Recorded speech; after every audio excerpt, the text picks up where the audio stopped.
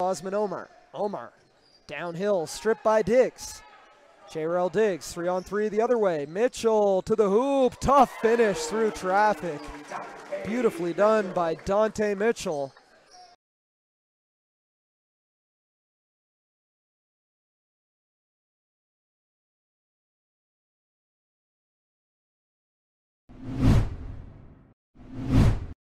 Kidney up over the line, dishes it off to Hopwell. Hopwell along the blue line, moves to the left side, into the circle, goes toward the net, the backhand score!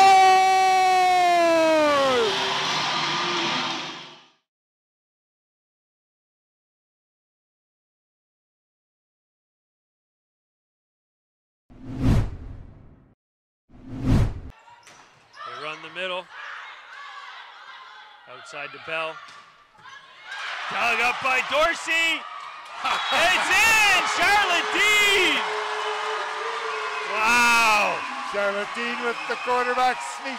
Unbelievable dig by Dorsey.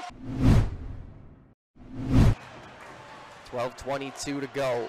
Second overtime frame to the side of the net. Backhand shot, they score! It's the series winner, and of course it's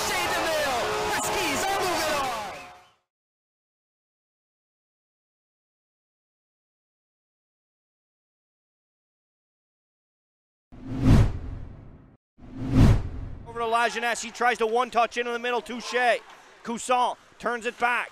Here's Hache up over the blue line now for the Aigle Bleu. Tries to work to the center. Does score.